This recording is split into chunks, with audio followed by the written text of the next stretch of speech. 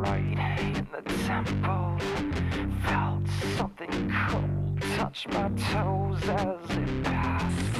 Might not be the face you'd expect, but he's clearly insane. Got me pegged in the back. Just need a